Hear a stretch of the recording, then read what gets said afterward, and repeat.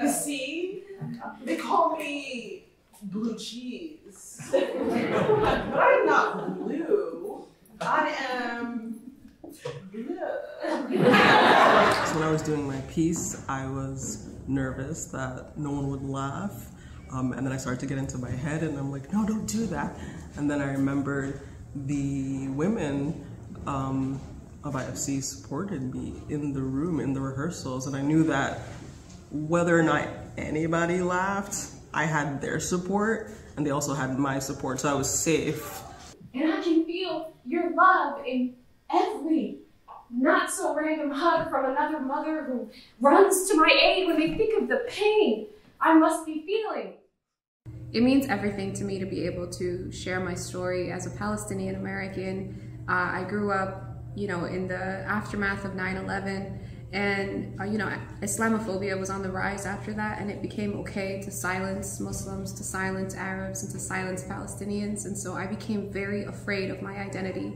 And that led into everything that I did in life. And then after I met Summer and performed in IFC in 2017, I started really doing the community work and the deep work to understand that I am acceptable as I am and that I am welcomed and that me speaking out and using my voice is always a form of resistance co-stars in action has been um, very inspiring um, and it's also been very impactful. I think for the first show I probably cried at least three or four times because I'm I've had the chance to you know see each one of their their vulnerabilities and you know being able to also put my myself out on the line um, but then I've also had the chance to like laugh with them you know smile with them and just dance and parties, so it, has been really cool. And then um, through rehearsals, I've had this, I've had the opportunity to see their growth as well as my own. Um, so that it's been really cool.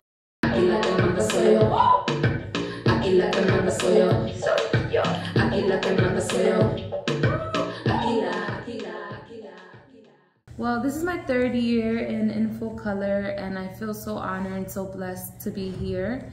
Um, my experiences have always been so beautiful and so wonderful, which keep me coming back.